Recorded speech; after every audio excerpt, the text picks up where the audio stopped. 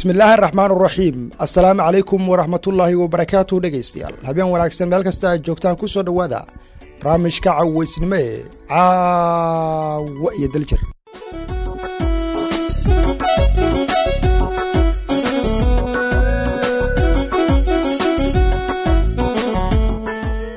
Waa habeennimo isniin ah kowda oktoobar laba kun siddeed iyo toban. Qodobada caawa barnaamijka oo ay maalgelisay samtel aad ku maqli doontaan waxaa ka mid ah qarax ismiidaamina dadna ay ku dhinteen kuwo kalena ay ku dhaawacmeen oo maanta ka dhacay magaalada muqdisho. Afar orama oo lagu dilay boosaaso mid kalena la dhaawacay. Guddiga dhismaha jidka u dhexeeya garawe gaalkacyo oo beeniyey inuu istaagay dhismaha jidkaasi. Guddoomiyaha cusub ee gobolka nugaal oo maanta xilka la wareegay. Musharax xildhibaan puntland laba kun sagaaliyo toban maxamed cabdinuur oo gaalkacyo soo gaaray. Dhakhaatiir digniino ka bixiyey xili roobaadka cudurrada ka dhalan karaa maxkamadda ciidamada qalabka sida ee soomaaliya oo xukunna riday nabadoonnada puntland iyo shacabka oo ka hadlay qaabka lagu joojin karo mukhaadaraadka puntland soo gala. Maamulka hirshabelle oo ka hor yimid amar dhowaan ka soo baxay guddoonka gobolka banaadir ururo ka cabanaya maxkamadda sare ee puntland. Qodobadaas iyo qodobo kale ayaad caawa barnaamijka saaxiib ayaal ku maqli doontaan hadduu alaydmo barnaamijka wuxuu idinkaga imaanaya stuudiyaha daljira magaalada gaalkacyo magacayguna waa lakimaan waxaadna naga dhegaysanaysaan dhammaan xarumaha daljir bogga internetka daljir dotcom abka daljir iyo sidoo kale idaacadaha bahwadaagaan nahay waa mar kale iyo caawo iyo daljir soo gudbinta barnaamijka caawiya daljir waxaa idiin sahashay shirkadda isgaarsiinta ee samtel. Telefoon cod faseexa leh qiimo jaban iyo adeeg internet oo xawaarihiisu sarreeyo sida for g iyo shaqaalo u heellan qancinta macaamiisha. Intaba ugu tag shirkadda isgaarsiinta ee samtel oo aad ka heli karto soomaaliya oo idil miyi iyo magaalaba.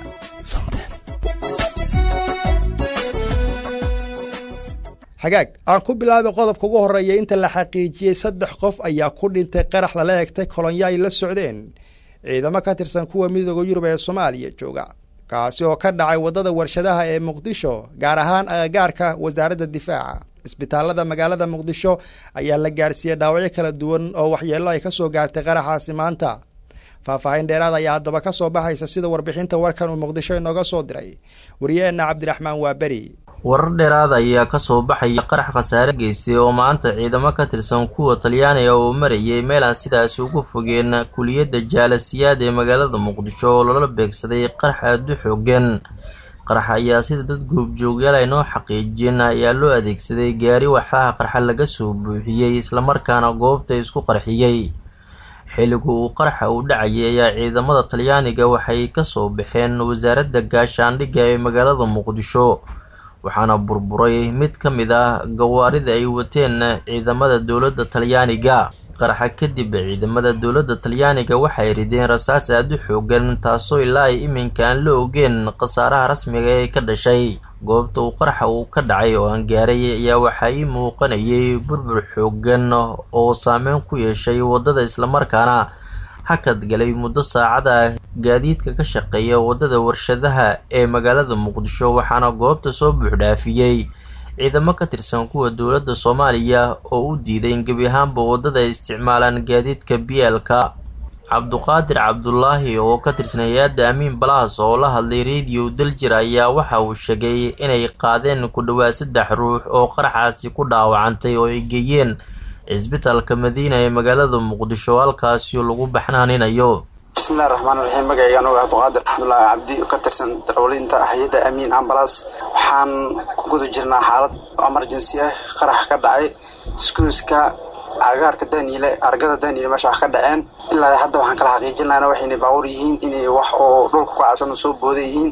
Kolley anaga emergency aan u taaganahay afar labaatanka saac. Alxamdulilah hadda saddex qofood hadda inta dhaawac aragnaa shan qofooda la sheegayay. Saddex qofood aan soo qaadnay isbitaalka madiinaan keenay. Ilaa hadda hadda oo khasaaraha inta meesha wax ka jiraan waa karin marka insha allah waan ku guda jirnaa shaqada. Ilaahay si wanaagsanna noogu dhameeyo mana jirta wax war oo ka soo baxay saraakiisha dowladda talyaaniga ee ku sugan magaalada muqdisho oo ku aadan qaraxaasi iyo khasaaraha ka soo gaaray ciidamadooda inta uu la egyahay dhanka kale ma jirto dowladda soomaaliya faahfaahin dheeraada ay ka siisay warbaahinta oo ku aadan qaraxii maanta ka dhacay agagaarka kuliyadda jaalasiyaad ee magaalada muqdisho balse war qoraal ah oo ka soo baxay ururka al-shabaab ayaa waxay ku sheegteen in qaraxaasi ayaga ay ka dambeeyeen islamarkaana khasaarooyin kala duwan ay gaarsiiyeen ciidamada talyaaniga ee waddadaasi marayay. Cabdiraxmaan waaberi radio daljir muqdisho. Cabdiraxmaan waaberi ayuu kaasi ahaa oo muqdisho inooga soo warramayay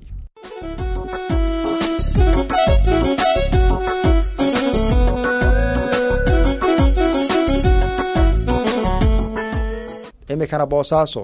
Wararka naga soo gaaraya magaalada boosaaso ee xarunta gobolka barina waxay sheegayaan dhegaystayaal in xaafadda santos oo ay ku badan yihiin oramada gaar ahaan goob ay degan yihiin qowmiyadda oramada rasaas lala dhacay afar qof a ay ku dhinteen. Wararka soo baxaya ayaa sheegaya sidoo kale in hal qof oo kale oo oramadaasi ah uu dhaawac yahay.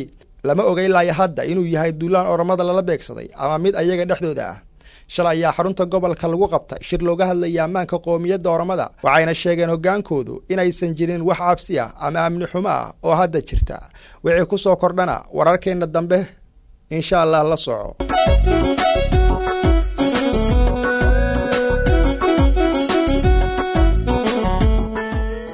Iminkana waddada isku xirta gaalkacyo iyo garowe ayaa maalmihii u dambeysay baraha bulshada waxa ay qorayeen in madaxweynaha puntland uu joojiyey waxaana la saaray laami ilaa afartan kilomitir warbaahinta qaar waxa ay qorayeen in mashruucaasi uu hakiyay madaxweynaha puntland haddaba guddoomiye ku-xigeenka hay'adda islaqaan ee dhistay waddada nabadoon khaliif ow cali ayaa weriye xasan haykal uga warramay siday shaqada u socoto isagoo beeniyey in mashruucaasi uu istaagay awar marka hore waa idin salaamayaa idinka iyo baxda saxaafadda iyo dadka idhegeysanaya dhammaantood assalaamu calaykum waraxmatullahi wabarakaatu shaqada aad bay u fiican tahay way socotaa.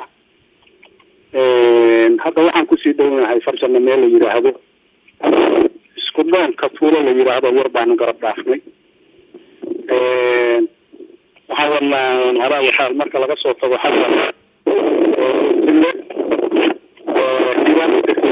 ku jira. Insha allahu waxaanuna rajaynaynaa. Hadda laba beri baa xoogaa maaragtay xoogaa qalqalaji qalqalajinaynay haddana. Caadi weeye saakaan dib u bilowna jimcihii oo hadda jimco ahayd sabtidii iyo axaddii intaasaanaan maaragtay shaqadii laamiga qaban kalaanu haynay oo dadkana dhegeysanaya haddaan u sharaxno shaqada socota iyo maxay ahayd qaabka wax u socdaan malaamigii baa la shubayaa inta kilomitr iyo halka laga soo bilaabay iyo ilaa iyo inta la rabo in la gaarsiiyo ha adeer shaqada socota hadda laamigii weeye afartan kilomitr baa rabaa in la dhigo. Ilaa lix kilomitr baanu hadda wadnaa. Muddo yar oo laba asbuuc meelaha iyo wax weheliya baanu wadnay. Marka aada iyo aad bay shaqadu u fiican tahay. Anaga kutalagalkayagu ahaa. Way u socotaa wax dhibihiina ma jiraan. Shaqadii marka laba fays bay ahayd fayskii hore dee waxaa la dhigayay maaragtay jidkii baa la dhisaayey la habeynayey. Haddana waxaa lagu bilaabay laamigii. Laamigana afartankaasa hadda noo qorshaysan haddii alla saaro afartankaasna hadda waana isku sheegayo. Halkaasaanu maraynaa. Aada iyo aad bayna shaqadu u wanaagsan tahay wax dhibi kama jiraan marka rajada ah in laamiga la dhamaystiro iyo inta kale harsan intee ka qabtaan? La-eg rajada aada u fiican tahay. Dee waxa weeye waan bilownay shaqadiina waan wadnaa. Laamiga hadda intaanu ku talagalnay inaan saarana waa afartan kilomitr afartankaasna waxaanu ku rajo weynahay haddii alla idmo bisha tobnaad. Oo hadda bilaabatay inuu ama noo dhawaado ama noo soo gabagaboobo. Haddaan wax caqabadihi dhicin markii roob yimaado adigu roobka xoogaa waxbuu baajin karaa. Maalin ama laba ama saddex hadduu bato iska soo daba noqnoqdana dee shaqa ma jiri karayso maxaa yeelay waxa la dhigayaa waa laami laamiguna kuleylku wax ku taraayo kuleylka isku qabsadaan jawga. Haddii jawgu qoyo waa caqabad bay ku noqonaysaa. Laakiin wax kale oo hadda aan filayno ma jiraan waxaanu ilaah ka rajaynaynaa inay noo fududaado sidaanu ugu talagalnay oo hadda u wadno ay noogu socoto insha allah waaya nabadoon adoo mahadsan maanta warbaahinta qaar baa waxay qorayeen websaydada oo kale in mashruucii gaalkacyo iyo garowe ee wadadii dhismaheedii la hakiyey oo madaxweynaha digreeta ka soo baxday lagu joojiyey laguna sababeeyey musuq maasuq iyo wax isdabamarin arrintaasi dadka lagu majaro habaabinayo maxaad nooga xaqiijin kartaa? Yaa dikreetada xageeda ka soo baxday bay yidhahdeen madaxweynaha xafiiskiisa madaxweyne cabdiweliga adeer waxaas waa la iska qori jiray qolo waxaa jirta isaga qaybsan oo inay iska dacaawadeeyaan oo wax ka sheegaan mashruuca iyo waddada oo meel isaga joogaho anu hadda waxay ka faa'iidayaan ma garanayo. Marka waxaan is leeyahay qoladiibaa markay ku hugoodeen waddadu waa fashilantay iyo waa joogsatay xaggaa u bedelayo. Hadda naf ka raadinaya cabdiweli baa wuxuu soo saaray dikreete dikreete uu leeyahay. Shaqada ha lagu joojiyo cabdiweli shaqada raalli buu ka yahay in la wado. Waana horumarka wadanka. Qof walba oo hadda muwaadina amase damiirlana inuu dee raalli ka noqdo wey. Macnaa hadda loo joojiyo la yidhaahdo. Loo joojiyana ma jirto. Qoladii hore iyo anaha shaqada u wadayna warkeeda waa haynay haddana isku tashi iyo anagu barnaamijka aan wadnaday ku socotaaye cid haddeer maaragtay aan g aan b h ahayn oo hadda maaragtay nagala qayb qaadanaysa yaamahan nala wadi ma jiro iyagu wixii farsamaha iyo wixii communication iyo nidaamku siduu ahaa way nala wadaan. B h na waa dawladday ka tirsan tahay waa hay'ad dawliya hay'adda waddooyinka puntland weeye u xil saaran. Marka wax ka jiraan ma jiraan haddii laydinku yidhi waa la joojiyey iyo dicreeta la soo saaray iyo xaggay wax ka dhaceen waa warkii layska wadwadi jiray oo dad maquustayaal ah aan dhihi karo waa maquustayaal oo wadanka propagandadiisa iyo dibudhaciisa aada ugu faraxsan anigu waxay ka helayaan ma aqaani baa u bedelay baan maaragtay dambiday markii ay arkeen wadadiiyo socota ugu dambeynta marka shacabka puntland qeybta ka ah dhismaha wadadan iyo isku tashiga maxaad ugu baaqi lahayd waxaan ugu baaqi lahaa hadde wixii horey aan ugu baaqi jiray oo waxa weeye waddada tan waxaa la rabaa haddii haatan nidaamkii loogu talagalayna uu saxmo oo hadda hadallo badan baa ka jira sidii loogu talagalay ay noqotana. Haddee mar walba shacabkii weeyaho gacan waa laga rabaayo marka ugu liidato in maaragtay laysla shaqeeyo oo layska warqabo oo barababandada iyo dacaayada iyo warkaan macnaha lahayn tii la daayo waxqabadka la taageero mar waa looga baahan yahay. Haddii haatan taa lagu hungoobo la waayana hadda mar walba cidda anagu aanu ku dhiiranayno hadda shaqada u wadnaa waa shacabka. Iyadaana laga sugayaa hadhow talada oo aan rabnaa inaan ku celino markaan afartanka laamiga saaro haddii aan laydno ganacsatada iyo hogaamiye dhaqameedka iyo siyaasiyiinta iyo dawladda iyo waxgaradka oo dhan reer puntland waa arrin u taal. Ama soomaaliya oo dhan waa arrin u taale arrin haddeer puntland keliya ku kooban maha waddada tani waa wada halbowlaa wada macno badan leh waxay isku xirtaa koonfur waqooyi iyo bari. Soomaaliya oo dhan marka waxay u tahay halbowle waxaan u malaynayaa wadda noocaas oo kalea inay soomaaliya ka jirin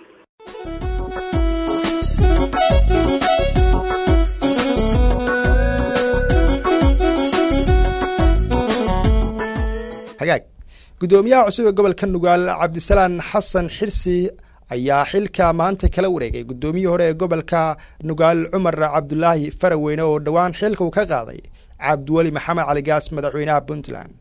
Xaawe axmed maxamed ayaa warbixintan garawa ka soo dirtay. Munaasabadan xil wareejinta ah oo ka dhacday xarunta gobolka ayaa guddoomiyihii hore ee gobolka nugaal. Waxa uu si rasmiya xilkaasi ugu wareejiyey mas'uulka cusub ee xilkaasi loosoo magacaabay dhowaan. Kadib markii madaxweyne cabdiweli maxamed cali kaas uu xilka ka qaaday cumar faraweyne guddoomiyihii hore ee gobolka nugaal cumar cabdulaahi faraweyne oo khudbad ka jeediyey xafladda xil wareejinta maamulka ayaa ka warbixiyey waxyaabihii u qabsoomay muddadii saddex sano ahayd ee uu xilkaasi hayay. Ee degmada gobolka nugaali waa ay ka dhacsanaan wakhtigu waxaanu dhisnay afartii degmo golayaashoodii deegaanka oo ka soo saarnay golo cusub iyo maamul cusub oo la jaan qaadi kara wakhtiga cusub waxaana dhici kartay golayaal iska xirnaa inay ka soo baxeen rag cusub oo hadda horumarin ka sameeyay degmooyinka. Waxaanu xallinay degmooyin cusub oo sida degmada godob jiraan oo kale oo lagu heshiin waayey dowladihii hore inay ka dhisaan ama guddoomiyaashii iga horreeyey golo deegaan aqoonta iyo waayo aragnimada dadka aanu leeyahay iyo anigoo isticmaalaya nabadoonnada ka soo jeeda deegaanka oo hadda nabadoonnadii hadda rag baa fadhiya nabadoon yaxyo aadan maax iyo nabadoon abshir caydiin iyo dhammaantooda magacaaban. Waxaana ku guulaysanay si khilaaf la'aana afartan iyo sideed sac inaan ku samayno golihii abid ugu khilaafka yaran waxaanu samaynay ti tiam isla jaanqaada xag amni xag siyaasadeed iyo xag horumar. Alxamdulilahi rabbilcaalamiin waa ku faraxsanahay guddoomiyaashii la shaqeeyey oo wax khilaafa xafiiska joogay annaga iyo iyaga aysan midnana dhexgelin taasuna waxaan is leeyahay waa hogaaminta adiga ee tiimkaaga aad iyo aad baan ugu faraxsanahay. Guddoomiyaha cusubna halkaasaan uga rajaynaya gudoomiyaha cusub ee gobolka nugaal cabdisalaan xasan xirsi ku jir ayaa isaguna codsaday in lala shaqeeyo. Xaqiiqadu waxay tahay oo keliya inaanu ka wada shaqayno annaga oo wada jira dadka caasimadda puntland ku nool oo dhan in magaalada amnigeeda laga wada shaqeeyo si goobtu ay u noqoto meel amnigeeda laysku hadlayn karo oo haddii maamulka hadda talada hayaahe uu hawsha isagu sii wadana ay noqoto meel amniya haddii mid cusub yimaadana ay noqoto meel amniya oo laysugu imaan karo kala guurka siyaasadana lagu qaban karo. Qaar ka mid ah nabadoonnadii madasha ka hadlay ayaa ku ammaanay guddoomiyihii hore waxyaabaha uu ka qabtay gobolka nugaal. Xilku waa meerto dee maalinba nin baa qabanaya laakiin waxa weeye sadar muqda waa su'aal madoonto. Waxqabadkiisii soo bandhigay. Aad baan u soo dhaweynaynaa goobjoog baan ka ahayn. Wuxuu ahaa oday oo khiyaara oo odaynimo ku shaqeeya.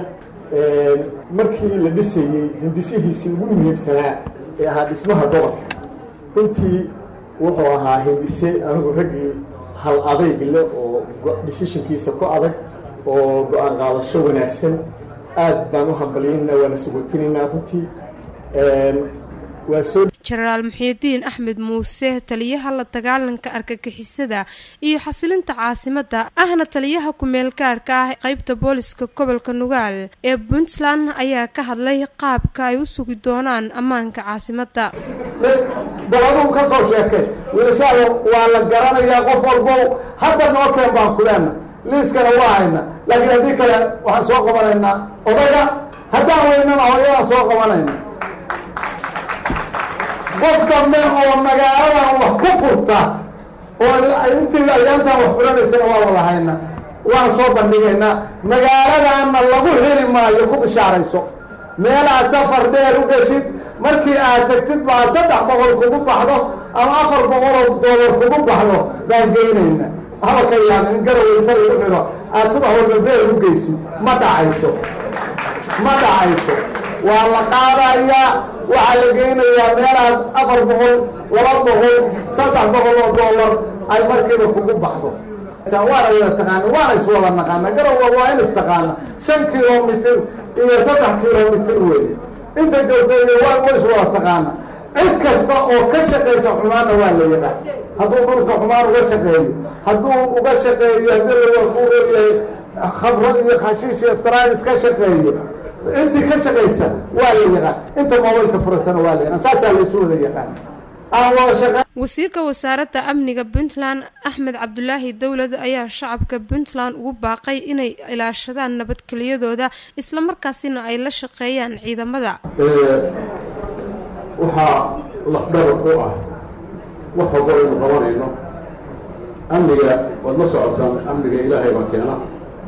Alxamdu lilah qaranka soomaaliya oo guud ahaan markaad eegto iyo mandaqada aynu ku noolahay ee puntland markaad isku eegto wax ilaahay loogu xamdi noqonay ilaahay markuu amniku siiyana waxaa laga baahan yahay inaad u mahadceliso. Muhiimadda intaas wey amniga aynu haysano puntland waad la socotaan mandaqad amniga weeye. Hase yeeshee amnigaas quruxda badan cadow badan buu leeyahay. Cadow badan buu leeyahay oo aan ogolayn inay amnigaasi ka jiraan. Sidaad la socotaan furimaha aynu leenahay badda iyo labadaa bad oo badda cas. Indian oceanka galmudug somalilan gudaheena oo buuraheenna ah intaba cadowbaa ku jira raba inuu waxyeeleeyo amnigeena intaa markaad ka timaado waad ogsoon tihiin cadowbaa inoo fadhiya meel aan ka fogeyn caasimadda garowe cadowgaas oo ujeeddadiisu tahay inay wiiqaan ama baabiyaan jiritaanka puntland waynu socnaa kulligeen cidda kor fadhiyaan waa wiilasheeda geesiyaasha oo ciidamada salaam baan u diraynaa dhammaantood waana ku mahadsan yihiin difaaca hadan walba ay ugu jiraan xawo axmed maxamed raadiyo daljir garowe mahadsanid xaawo barnaamijku waa caawiya daljir gaalkacyo ayuu idinkaga imaanayaa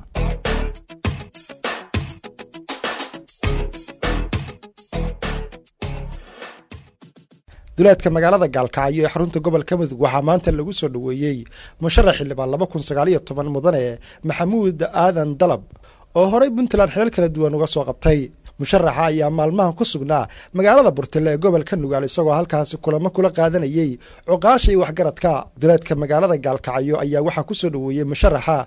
Qaybaha kala duwan ee bulshada nabadoonno waxgarad ururada haweenka iyo sidoo kale ardayda magaalada gaalkacyo. Ugu horeyn qaar ka mid a shacabka iyo nabadoonnadii soo dhoweeyey sheegay inay ku rajawan yihiin in loo doorto iyagana ay doorteen iyagoo sheegay inuu wax badan u qaban doono shacabka deegaanka uu ka soo jeedo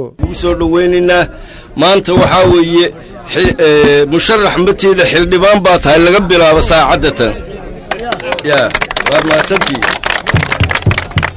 aadan aad baa mahadsan tahay insha allah anana waxaan rajeynaynaa sida shacabka dareenkooda ka muuqata in xildhibaanka uu loo ahaado waxaan kaloo soo dhaweynayaa aadan cali yuusuf oo isaguna odayaasha magaalada ka mid ah oo aan jeclahay inuu kelmad soo dhaweynta ay halkan ka yidhaahdo aadan soo dhawow bismillaahi raxmaani raxiim waxaan soo dhowaynaynaa oo qorraxda aannu u taagannahay kalsooni weynna aannu ku qabnaa. Maxamuud cabdinuur aadan oo musharax degmada buurtinle ka soo galay xubinna raadinaya xildhibaan guddoomiye xildhibaan soo dhowow. Waa kuu dhiibnay. Halla dhaqaaqi taas waa qodob qodobka labaad wuxuu yahay waxaan kuugu dhiibnay. Waxaad buntland ka qabatay baannu ogna. Waddadii midikar ninkii soo dhisay baa ta. Injineerkii wax ka soo qabtay oo soo dhisay oo lagu muta'anfacay baa ta. Midda labaad markii aad ahayd xubin ka mid ah konsulka gobolka mudug waxqabadkaagii iyo waxtarkaagii iyo odaynimadaadii iyo mas'uuliyaddaadii baannu ognahay. Waxaan u malaynayaa maxamuud cabdinuur hadda annaga nooguma horrayso reer gaalkacyadow iyadoo aan gaalkacyo laamiye lahayn buu taariikhda waxaan ku haynaa inuu ahaa isagoo agaasimaha neeshaah inuu keenay mashaariicda ugu badneed ee magaalada gaalkacyo ka fusha maxamuud cabdinuur buu ahaa. Maxamuud waxaan kugu xasuusannaa taariikho badan oo gobolka horumarkiisa aydhibiyada hadda halkan qayb baa ka joogta wakhtiga abaaraha aydhibiyada magaalada gaalkacyo biyo dhaamin badan buu kaga qayb qaatay. Xasuustiisa marka midaan soo koobi karna maa taariikhduu sameeyey gobol ka sameeyey. Annagoo ku hadlayna magaca dhallinyarada iyo isboortska gobolka mudug waa ku soo dhoweynaynaa wuxuu kaloo noo ballan qaaday haddaan nahay bahda isboortska garoonka cawaalo oo dibidhis ka socdo inuu ka qayb qaadanayo haddana kormeer uu ku tegayo. Si fiican ugu sacbiya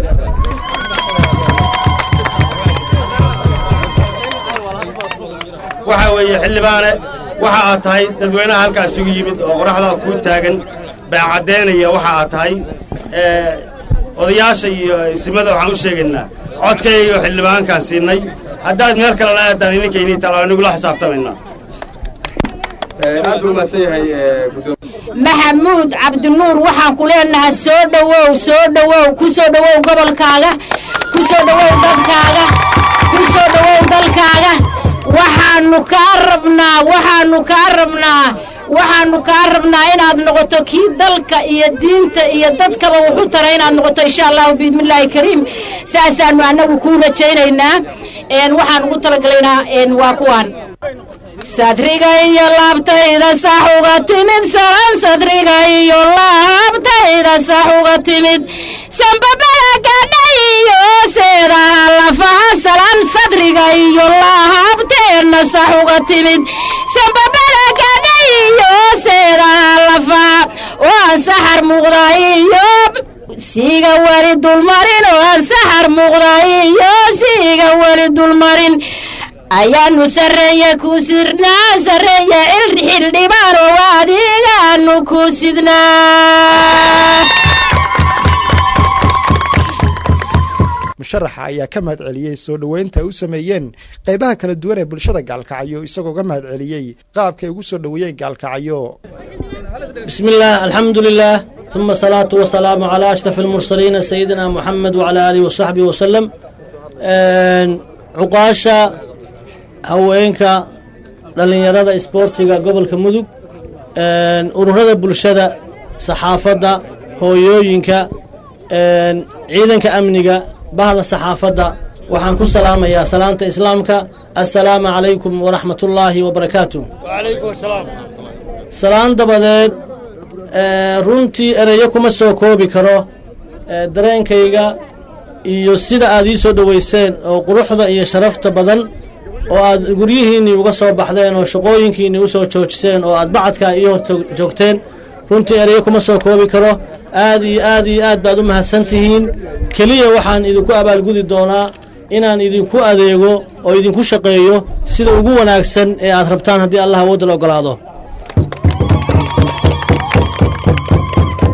Anigoo u qareemi doona dadka aan codkooda ee, uusan meel fog gaari karin sida hooyooyinka dhallinyarada isboortiga dhallinyarada ardayda ah ee dugsiyada dhiganaya iyo cuqaasha iyo dhammaan qaybaha bulshada.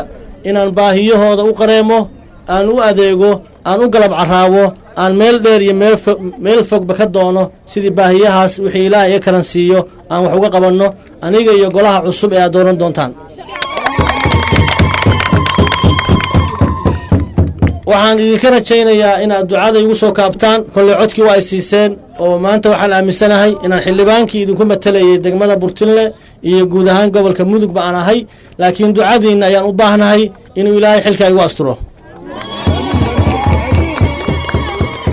Aad iyo aad baa u mahadsantihiin xilli qorax badan baa la joogaa.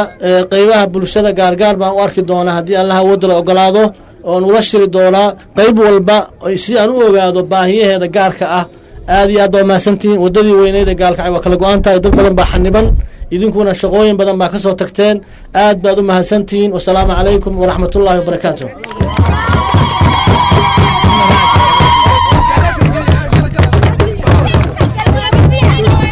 dhinaca kale musharax xildhibaan laba kun sagaaliyo toban maxamuud cabdinuur aadan ayaa waxa uu kormeer ku sameeyey garoonka kubadda cagta ee cawaale oo dhismo ka socdo isagoo garoonka ugu deeqay konton kiisho shamiita halkaas ayuu hadal ka jeediyey isagoo sheegay in uu markaasi qaybtan ay tahay tii hore balse hadduu ku guulaysto kursiga xildhibaan in uu qaban doono waxyaabo badan oo ka mid yahay inuu horumariyo garoonka kubadda cagta ee cawaale.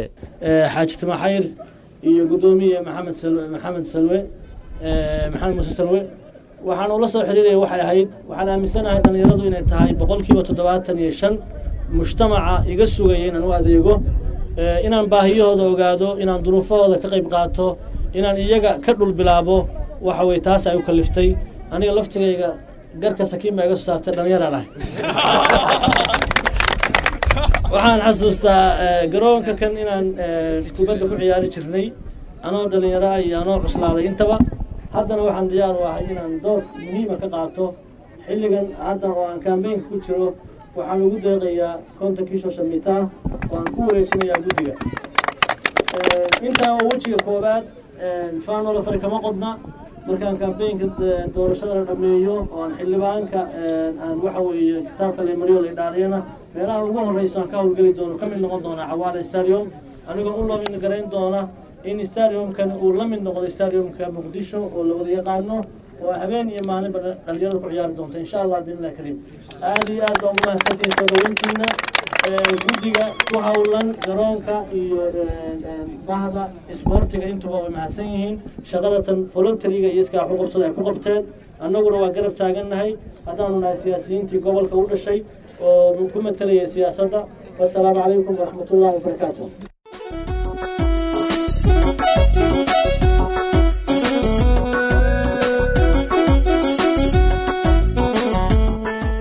iyadoo lagu guda jiro xilil roobaadka dayrta ayaa howlwadanada caafimaadka ee deegaanada puntland gaar ahaan degmada burtile waxay shacabka uga digeen cudurro ka dhasha meelaha gododka oo ay biyuhu fadhiistaan waxaana shacabka loogu baaqay inay nadaafadda ku dadaalaan xilil roobaadka.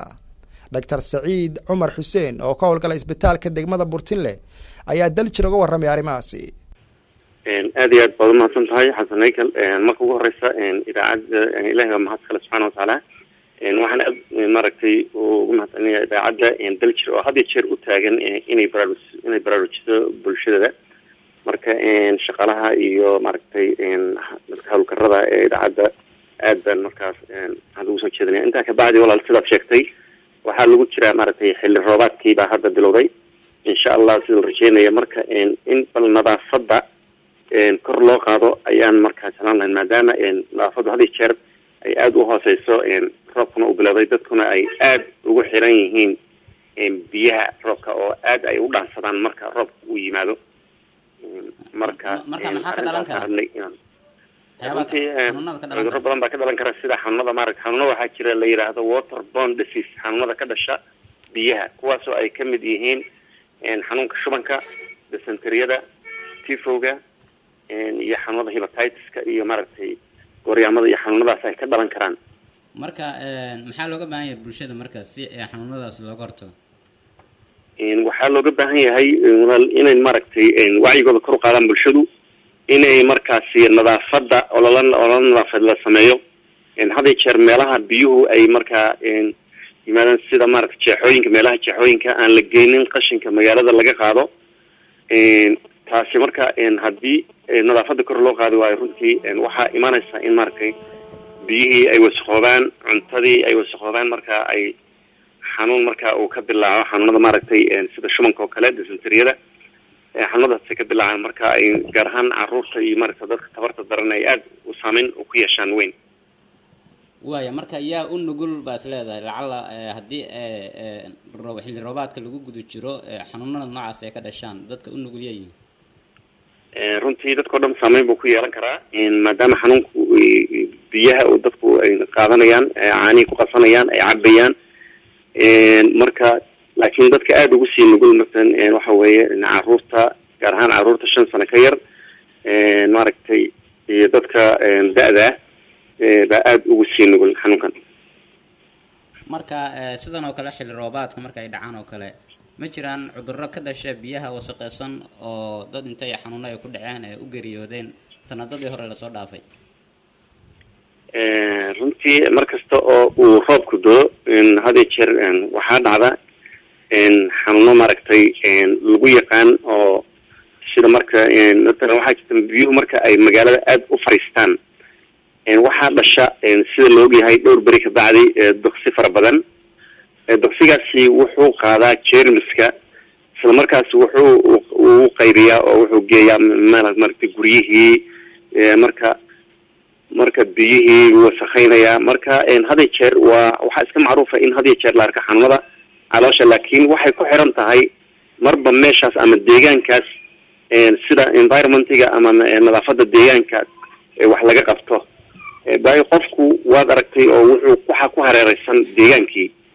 Marka haddii uu dhakhtarku yidhaahdo qofka keliyaan daweynaya deegaankii shuqulkuma lihi qof dhakhtarkaasi runtii ama bulshadaasi wax badan may qaban laakiin waxaa loo baahan yahay in deegaankii laga fekero dadkiina la daaweeyo wax kala maarmaya maaha arrintaas.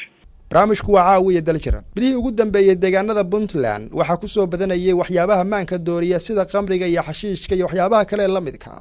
Waxaana dhacday dhowaan in magaalada garowe caasimadda puntland iskohorimaad uu dhex maro kooxo daraagiskaas ka ganacsanayay iyo sidoo kale ciidamada amniga puntland iyadoo khasaare uu ka soo gaaray iskohorimaadkaasi haweenay ku sugnayd gurigeeda. Magaalada gaalkacyo waxaa sidoo kale ka jiray falal amniga lidig ku ah hab ugu badnaatee dhaca moobilada. Haddaba shacabka iyo dowladda sidee isaga kaashan karaan ka hortaga amni darrada iyo muqaadaraadka.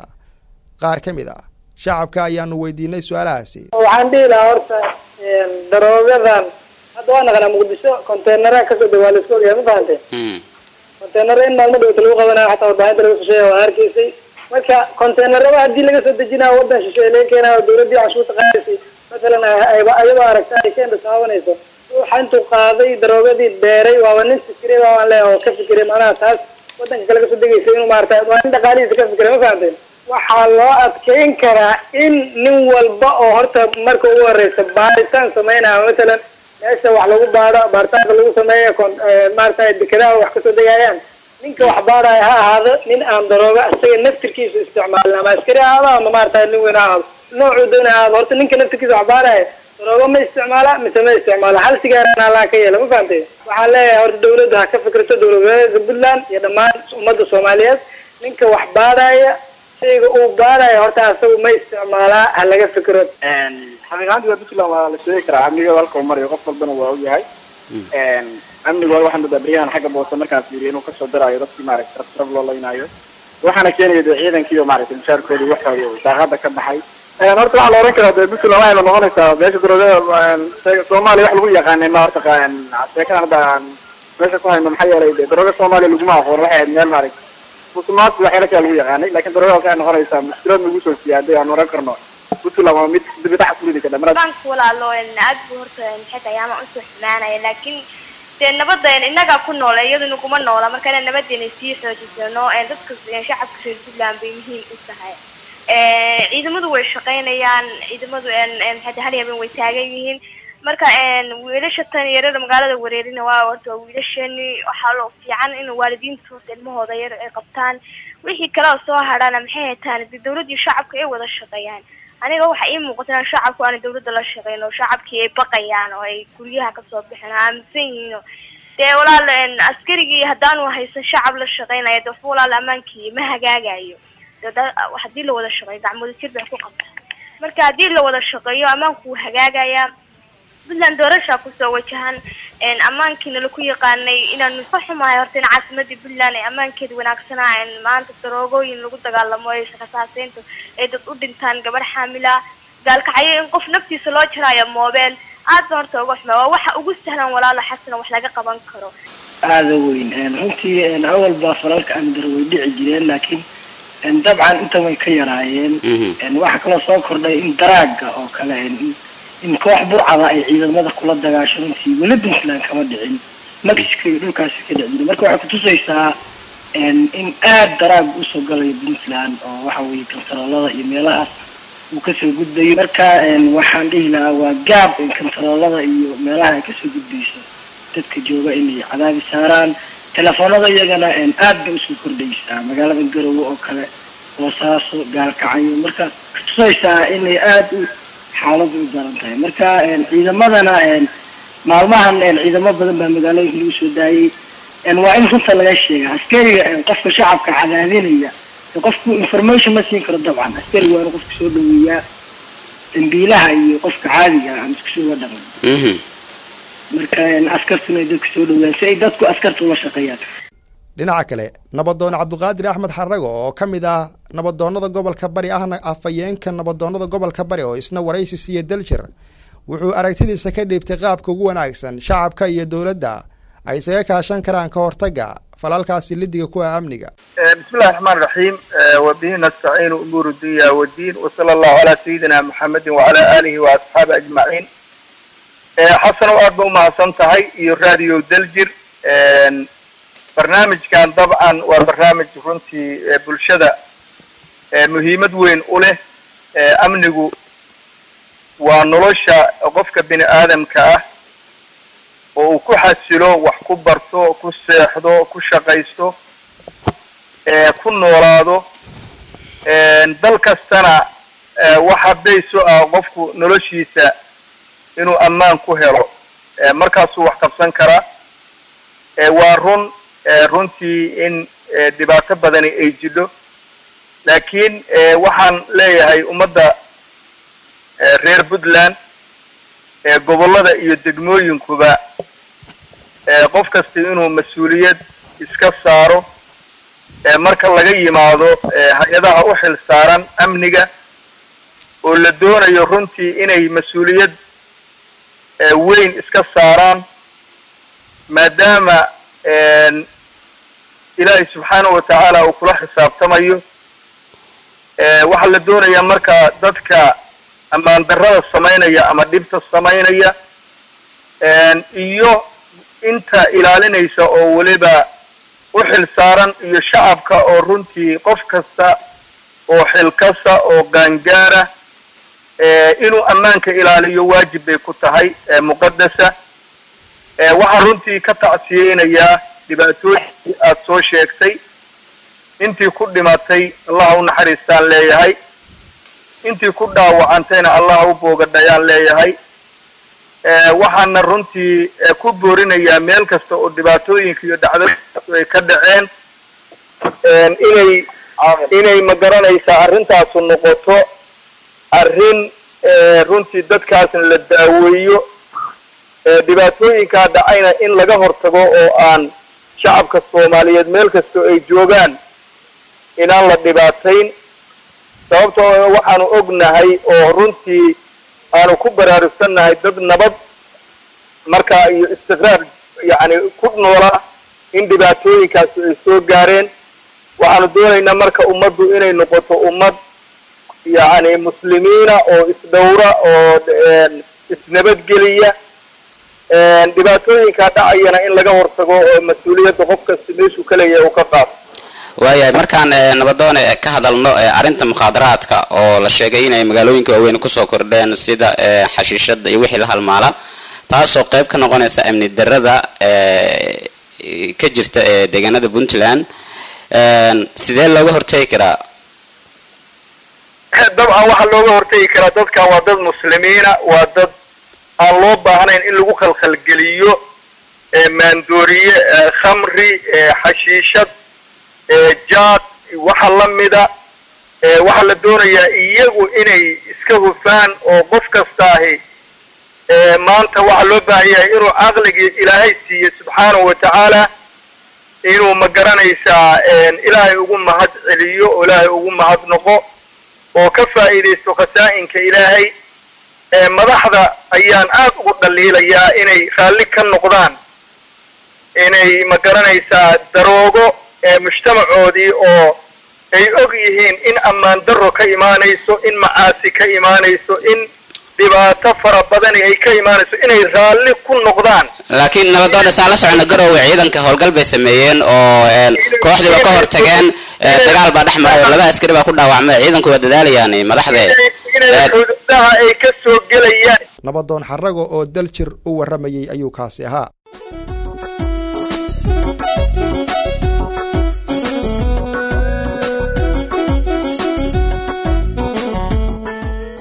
hagaag iminkana muqdisho. Maxkamadda ciidamada qalabka sida ee soomaaliya qeybteeda lixaad ayaa maanta waxa ay xukunno kala duwan ku riday ciidamo ka tirsan kuwa maamulka koonfur galbeed soomaaliya. Iyo mid lagu eedeeyey shabaabnimo. Dadka la xukumay ayaa waxa ay kala yihiin dable boolis aadan maxamed xasan iyo ibraahim ina faadmo. Guddoomiyaha maxkamadda ciidamada qalabka sida ee soomaaliya qeybta lixaad gaashaanle aadan abuukar maxamed ayaa ku dhawaaqay xukunka maanta taariikhdii markay labaatan sagaalkii bishii sagaalaad laba kun toban iyo sideed saacaduna ahayd tobankii subaxnimo maxkamadda ciidamada qalabka sida qaybta lixdanaad waxay u fadhiisatay dacwad iqaabeedkii loo haystay eedeysana gacan gudhiigle dable booliiska aadan maxamed xasan ibraahim oo loo yaqaano boqol ina faadumo carbow xuseen afar labaatan jir ah ku dhashay degeen baydhabo ka tirsan ciidanka booliiska rugta cabdishire degmada baydhabo taasoo xafiiska xeerlaalinta maxkamadda ciidamada qalabka sida qaybta lixdanaad ku soo dacweeyey in uu si bareer ah oo ulaka ah u dilay taariikhdu markay ahayd saddex iyo tobankii bishii sideedaad laba kun toban sideed marxuum la ohan jiray sheekh cali axmed xasan ina aamino aadan lixdan shan jir ahaa kadib markii uu hal xabo aaki forty seven absaar ah madaxa kaga dhuftay isla goobtiina ku geeriyooday. Dood dheer kadib maxkamadda markay aragtay aadii uu soo gudbiyay xeerlaaliyaha maxkamadda ciidamada qalabka sida qaybta lixdanaad oo ku xusneed aayadda boqol toddobaatan iyo sideeda suuratu albaqara aayadaha soddon iyo saddex afartan iyo shan suuratu almaa-ida iyo qodobka afar boqol soddon iyo afar xeerka ciqaabta soomaaliyeed oo lala aqriyo qodobka sagaal iyo tobnaad xeerka ciqaabta ciidamada qalabka sida markay aragtay qiraalka eedeysana looga horqoray xafiiska garsoorka maxkamadda ciidamada qalabka sida qaybta lixdanaad uuna ku qirtay inuu marxuumka asagoo gacantiisa ku dilay oo madaxa kaga dhuftay hal xabo ak forty seven ah goobtiina uu ku geeriyooday. Markay dhegaysatay markhaatiyaasha la horkeenay maxkamadda horteeda mid midna u weydiisay marag furkooda waxay maxkamadda horteeda ka caddeeyeen in marxuum sheekh cali axmed uu si ulaka ah u dilay eedeysanaha islamarkaana madaxa kaga dhuftay hal xabo ak forty seven ah oo goobtiina uu ku geeriyooday. Markay aragtay sawirka meydka marxuumka iyo qorigii lagu dilay marxuumka markay aragtay dacwadda ay soo qorteen ehelada marxuumka oo ku taariikhaysan shantii bishii sagaalaad laba kun toban iyo sideed markay dhegaysatay dooda qareenka oo ahayd in eedaysanaha loo naxariisto loona eego sifaalaha dembiga fududeeya. Sidaas darteed maxkamadda waxaa u caddaatay in gacanku dhiigle dable booliiska aadan maxamed xasan ibraahim oo loo yaqaano boqol uu yahay dembiilo galay dembigii lagu soo ogay waxayna ku xukuntay dil toogasho oo ah qisaastii marxuum sheekh cali axmed xasan sidoo kale maxkamadda ciidamada qalabka sida qaybta lixdanaad labaatan sagaalkii bishii sideedada laba kun toban sideed waxay u fadhiisatay dacwad qaabeedkii loo haystay eedaysanayaasha kale ah kow shabaab isaaq buurow cali oo maqane ah labo dable xooga labo labaatan kun boqol soddon iyo shan maxamed nuur ibraahim oo loo yaqaano koni ina xaliimo ibraahim cali labaatan toddoba jir ah ku dhashay degan baydhabo ka tirsan ururka afartan shanaad guutada sideedaad qaybta lixdanaad. Kuwaasoo xafiiska heerlaalinta maxkamadda ciidamada qalabka sida qaybta lixdanaad ku soo kala eedeeyey. Eedeysanaha koowaad xafiiska heerlaalinta ciidamada qalabka sida qaybta lixdanaad wuxuu ku soo eedeeyey in uu si bareer ah oo ulakaca u dilay taariikhdu markay ahayd labaatan iyo sagaalkii bishii shanaad laba kun toban sideed marxuum la ohan jiray ex dable xooga maxamed cabdi cali aadan islamarkaana uu la baxsaday laba qori aaga forty seven oo ay wateen. Eedeysanaha labaad iyo marxuumka uuna u galay kooxda nabadiidka al-shabaab oo ay oo uu horay uga soo goostay. Eedeysanaha labaad wuxuu xafiiska heerlaalinta ciidamada qalabka sida qaybta lixdanaad ku soo eedeeyey in qorigii uu ku qornaa u dhiibay eedeysanaha koowaad oo al-shabaab ka soo goostay qorigiina uu ku dilay marxuumka labadii qorina uu al-shabaab ula galay dood dheer kadib maxkamadda markay aragtay aadii uu soo gudbiyey xeerlaaliyaha maxkamadda ciidamada qalabka sida qaybta lixdanaad oo ku xusneed aayadda boqol toddobaatan iyo sideeda suuratu albaqara aayadaha soddon iyo saddex afartan iyo shan suuratu almaa-ida iyo qodobka afar boqol soddon iyo afar laba boqol labaatan iyo xeerka iqaabta soomaaliyeed iyo qodobka koowaad sagaal iyo tobnaad xeerka iqaabta ciidamada qalabka sida. Markay aragtay qiraalka eedeysanaha labaad maxkamadda looga qoray uuna ku caddeeyey inuu eedeysanaha koowaad oo al-shabaab ka soo goostay uu ka codsaday isaga iyo marxuumka in ay gabar kala soo wadaan awdinga uuna u kireeyey mooto bajaad markay dhexda marayeen isaga qorigiisa u dhiibay. Eedeysanaha koowaad markay marayeen tuulada musuubiya uu eedeysanaha ku yidhi mootada hala ii joojiyo. Markii loo joojiyey uu qisaas ku soo furay halkaasna uu ku dhaawacay marxuumka labadii qorina uu qaatay. Eedeysanaha koowaad lana galay ururka al-shabaab. Marxuumkana uu u dhintay dhaawicii markay dhegaysatay markhaatigii maxkamadda loo horkeenay marag furkooda markay aragtay doodii qareenka oo ahayd in eedeysanaha labaad loo naxariisto loona eego sifaalaha dembiga fududeey sidaas darteed maxkamadda waxaa u caddaatay in eedeysanayaasha kale ah kow shabaab isaaq boorow cali oo maqane ah laba dable xooga labaatan kun boqol soddon iyo shan maxamed nuur ibraahim koone ay yihiin dembiilyaal galay dembigii lagu soo ogay waxaana ku kala xukuntay kow gacanku dhiigle shabaab isaaq boorow cali maqane dil toogasho oo ah qisaastii marxuumka ex dable maxamed cabdi cali aadan. Laba dable xooga laba labaatan kun boqol soddon iyo shan maxamed nuur ibraahim kooni laba sano xabsi ciidan ah iyo in uu qeybta lixdanaad xoogga dalka soomaaliya u soo celiyo qorigii uu ka lunsaday. Ciddii aan ku qanacsanayn xukunka maxkamadda waxaa u furan in ay rafcaan ka qaataan wabilaahi towfiiq xagaag barnaamijku waa caawiya dal jira mas'uuliyiin sheegay inay yihiin madaxda ururka hemilo relief development organisation ayaa maanta garowe shir jaraayad oo ku qabteen. Waxay ku qaadaceen xukun ay sheegeen in maanta uu ka soo baxay maxkamadda sare ee puntland kaasi oo magacooda lagu siiyey dad kale waa siday hadalka u dhigeen. Madaxa ururka hemilo canab cabdi fidaar iyo isku xidhaha ururkaasi daahir abshir ayaa si wada jira saxaafadda ula hadlay. Intaa ka bacdi ujeedkaan meesha u imi wuxuu yahay in aan idinla wadaago arrin xaqdarro ah oo dulmi iyo baadila oo aanu ka tirsanayno maxakamadda sare ee dowladda puntland. Arrintaas dulmiga iyo baadilka waxaan u sheegaynaa madaxda puntland iyo cid kasta oo faragelinteeda leh inay hawshaas soo farageliso ama dadka daneeya arrimaha bili-aadannimada in ay soo farageliyaan oo arrintaa wax ka qabtaan arinta arrintaa baadilka ayaanu tirsanaynaa. Waxaa weeye waxaa la dhacay magacayaga himilo relief and development organisation niman gaangiisa ayaa u soo shaqo tegoo si sharci darro ah u foojar garaystay kuna isticmaalay in ay ku shaqaystaan oo mashaariic kaga fuliyaan puntland dhexdeeda. Muddo loo gaadho kun waxaa weeye labadii kun iyo lix iyo tobankii bishii labadii kun iyo lix iyo tobankii soori bishii toddobaad bilowgeedii. Magacayagaa oo sifo sharci darro ah loo maray ayaa laga koobiyeystay wasaaradda qorsheynta iyo xiriirka caalamiga.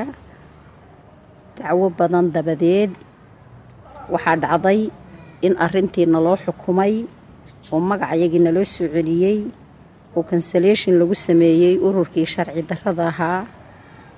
Sharcigaas oo aanu ka wada doodaynay na dhex yaallay annaga iyo wasaaradda qorsheynta iyo xidhiirhka caalamiga waxaa dhacday wasaaradda qorsheyntu waxay qaadatay xukun ay soo saartay maxkamadda sare oo xukunkaasi xukun idaariya ahaa oo annaga iyo wasaaradda qorsheynta doodna dhex martay oo ah ku salaysnayd magacayaga sifada sharci darrada lagu qaatay dabadeedna waxaa dhacday in naloo soo celiyey magacii wasaaradda qorsheyntuna ay ka saartay ururkii kala noqotay sharci darrada ahaa. Magacii la siiyey registrationkii ay ka kansaleen xokaydiyaha wasaaradda qorsheyntana ay ka saareen. Kabacdii xukunkaasi xukun idaariya buu ahaa. Sharci darrada iminka aanu tirsanaynaa iyo cadaalad darradu waxay ka timi. Waxaana lagu sameeyey dibu eegis ayaa lagu ayaa loo furay nimankii tuugta ahaa ee magaceega sida sharci darrada awal ku koobiyeystay. Arrintaa ayaanu ka cabanaynaa in sharciga islaamkana lagu qanciyo oo wax lagaga qabtana waanu doonaynaa xaaladda dhibkaa eena haysta. Marka cid kasta oo ay qusayso waxaan doonaynaa in ay wax ka qabato siiba dowladda puntland madaxdeeda hadday tahay golaha wakiilada hadday tahay madaxweynaha haddii ay tahay hay'adaha garsoorka iyo maxaan idhahdaye kuwa xeer ilaalinta cid kasta oo ay qusayso waxaanu rabnaa in ay wax ka qabato arrintaasi sharciga waafaqsan. Ururka layahay himilo relief and development organisation oo ah urur maxalli ah lana asaasay sannadkii kun sagaal boqol iyo sagaashan iyo lixdii lagana diiwaangeliyey wasaaradda qorsheynta iyo xiriirka caalamiga ah ee labada kun iyo saddexdii fuliyey mashaariic badan ah cashuur bixiyo shaqo wanaagsan kala dhexayso dhammaan hay'adaha dowladda. Puntland inji-ooyada maxalliga ah inji-ooyada caalamiga ah iyo hay'adaha u-n-ka waxaan halkaan idinku yeernay inaan idinla wadaagno cabasho ka dhana maxkamadda sare ee dowladda puntland oo ah halka ugu sarraysa garsoolka maanta inta inoo samaysan. Haddaba maxaa dhacay? Cabashadayada ka dhanka ah waxay ku bilaabanaysaa sidaan. Saddexdii julaay labadii kun iyo lix iyo tobankii ayaa waxaana soo wacay kow guddoomiyaha hay'adda hadmo gudoomiye ku-xige guddoomiyihii hore ee degmada taleex iyo madax ka socota wasaaradda qorsheynta waxay noo sheegeen inaan mashaariic dhacnay qaadannay annagoo aan soo marin hay'adihii ay qusaysay ee dowladda puntlandna aan ka fulinayno aagga taleex annagoo aan soo marin cidna. Baaritaanaan samaynay kadib waxaan ogaanay in magacayagii la foorjirgaraystay la xaday laguna shaqaysanayo. Halkaas waxaa nooga bilaabatay dacwad u dhaxaysa annaga oo ah himilo relief development organisation iyo wasaaradda qorsheynta iyo xiriirka caalamiga ee dowladda puntland oo uu difaacayay gariiqaankii hore ee dowladda puntland. Allah u naxariistay dhintay annagana uuna difaacayay qareenkayaga sheekh siciid axmed faarax. Haddaba afar iyo labaatankii bish saddexaad labada kun iyo sideed iyo tobanka waxaa maxkamadda sare waxaa maxkamadda sare ee dowladda puntland xukun ka soo saartay. Idaari ah ama maamul ah ama administration ah oo kii ugu dammeeyey ah xukunka iyada ah oo u dhexeeyey annaga iyo wasaaradda qorsheynta.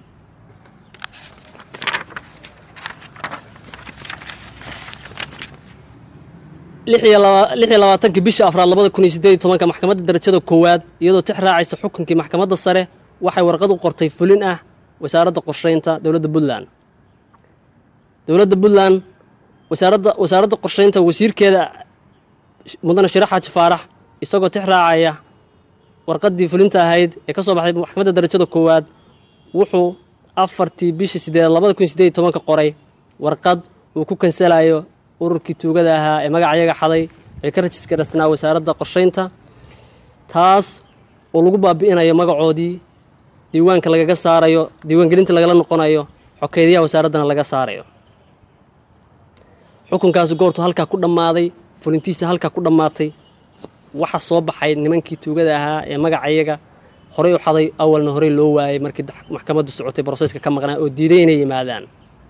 Waayo niman nairobi iyo meelaha joogay ahaayeen oo burcada ma tegayna puntland bay dheheen waxay dalbadeen nimankaasi dib u eegis idaari aan dib u eegis lahayn bay dheheen dib u eegis baan ka furanaynaa iyadoo taa og yay haddana waxay yidhaahdeen dib u eegis baan ka furanaynaa dacwad aysan dhinac ka ahayn aysan joogin annaga iyo wasaaradda qorshaynta noo dhexaysay guddoomiyaha maxkamadda sare yuusuf xaaji nuur lix iyo labaatankii bishii sideed labada kun iyo siddeed iyo tobanka wuxuu soo saaray amar uu ku amrayo maxkamadda darajada koowaad in ay warqad qorto kuna socodsiiso qoladaa tuugadaa qof ka socday oo yidhi uma hoggaansanayo maxkamadda amarka maxkamadda dowladnimada puntlandna ma aqoonsani waxaan aqoonsanaya xildhibaano iyo lacag. Wuxuu soo saaray wuxuu soo saaray amar uu leeyahay waa in lagu socodsiiyo warqad qoladaa tuugada laguna afranya sharciga u hoggaansamaan galkana la xiro. Soddonkii bishii sideedaad labada kun iyo siddeed iyo tobanka guddoomiyaha maxkamadda darajada koowaad sheekh cabdinuur wuxuu qoray warqad ku socota ninkii sheegtay magaca hay'adda oo diiday inuu hoggaansamo maxkamadda. Galkiina waa xiray. Halkaa waxaa ku dhammaaday maxkamaddii dacwaddii noo dhexaysay annaga iyo wasaaradda qorshaynta. Halkaa markuu barnaamijkaasu ku xirmay annaga waa iska shaqo tagnay galkayagiina halkaasaa lagu xir haddaba waxyaalaha aanu isugu kenyeernay oo aanu ka cabanayno ayaa waxay tahay waxaa naga yaabiyey. Waxna tusay garsoorkii puntland maxkamaddii ugu sarraysay oo god ku dhacayso oo aan oo samaynaysa waxyaalo qaanuunka sharciga iyo dastuurka puntland baalmarsan. Cid kasta oo garyaqaana garsoor wax ka taqaana iyo cid kastoo wax taqaanana ka yaabis. Maxay tahay marka? Kow afar iyo tobankii sagaalaad iyadoo xukunkayagii la xiray afar iyo tobankii sagaalaad labada kun iyo siddeed iyo tobanka maalin jimcaha ayaa waxaa qareenkayga soo wacay guddoomiyaha maxkamadda sare yuusuf xaaji nuur isagoo u sheegay in dacwaddii la xiray soddonkii bishii sideedaad labada kun iyo siddeed iyo tobanka dib loo furi doono. Berri oo sabti ah oo ku beegan shan iyo tobanka sagaalaad labada kun iyo siddeed iyo tobanka.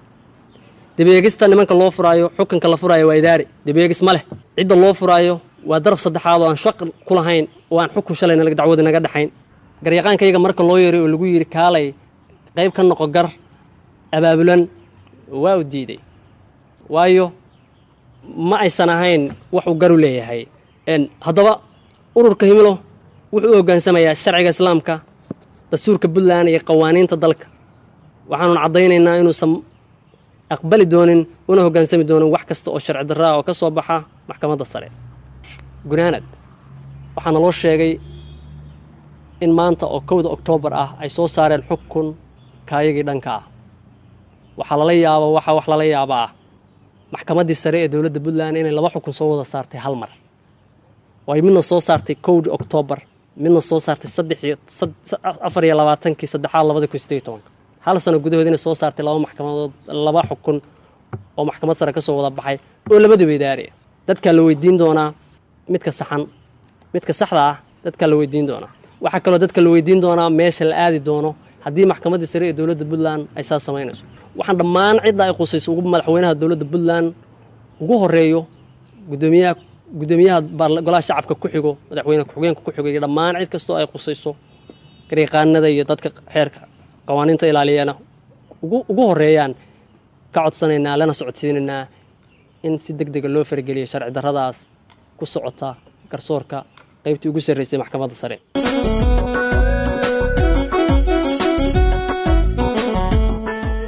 waxaad naga dhegaysanaysaan radio delger soomaaliya. Dhammaan xarumaha delger ayaad nagala socotaan idaacadaha bahwadaagaan nahay oo ay ugu horeyso somaali american radio kelly ee ku taala dalkaasi maraykanka. Lagana dhegeysto magaalooyinka mataanaha minneabolis iyo st paul waxaad kalood naga dhegeysanaysaan abka delger oo aad google play storeka aad kala soo degeyso abka delger deetana aad ka dhegeysanayso wararka iyo barnaamijyada iyo waraysyada ku dhaafa. Iminkana maamulka hiirshabelle ayaa ka hor yimid amar dhowaan ka soo baxay guddoomiyaha gobolka banaadir oo ahaa in degmada balcad lagu daro gobolka banaadir waxaana arrinkaasi ka hadlay guddoomiyaha degmada balcad oo beeniyey. Waxaan kaloo aan u sharaxnay guddiga muhiimadda ay inoo leedahay wadahadalka dowladda federaalka ah ayaan sidoo kale u sheegnay.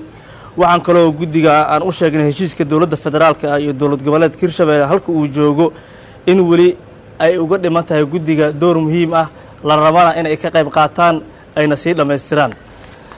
Waxaa kale oo guddiga maanta aan la kulannay aan u bandhignay arrin aad culays noogu abuurtay oo baryahanba aanu ka maqlaynay meediyada oo ah hadal ka soo yeeray maamulka gobolka banaadir oo ahaa in degmada balcad lagu daro caasimadda si caasimadda loo ballaariyo.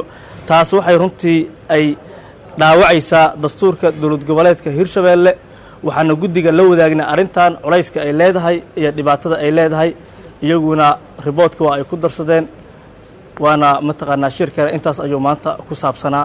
Idinkuna aad iyo aad baad u mahadsantihiin waa hagaag saaxiibayaal caawa guud ahaan. Intaa ayaana ku soo gabagabeynayaa barnaamijkii caweysnimo ee caawa iyo daljir. Anigoo la kimaanaya gaalkacyo idinka soo jeedinayay. Dhammaan xarumaha daljir ayaad kala socoteen iyo idaacadaha bahwadaagaan nahay samtel ayaa barnaamij ka fududaysa intaan barnaamijkan oo kale a ku kulmi doona waa la kimaano idin leh.